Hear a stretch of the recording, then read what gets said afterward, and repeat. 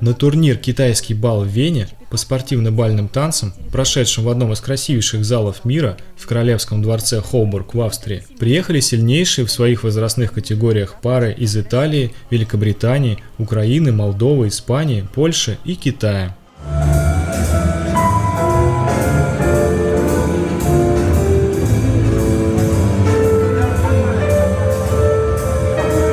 Россию на этом турнире представляли всего три пары из спортивно-танцевального клуба Dance Hall, которым руководят профессиональные тренеры Александр Абрамов и Ирина Гундова.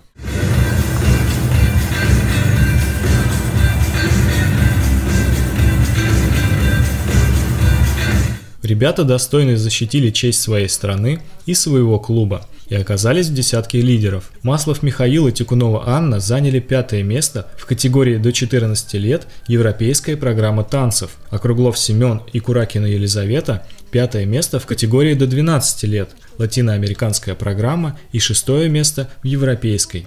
Поздравляем юных танцоров и их тренеров с заслуженной победой!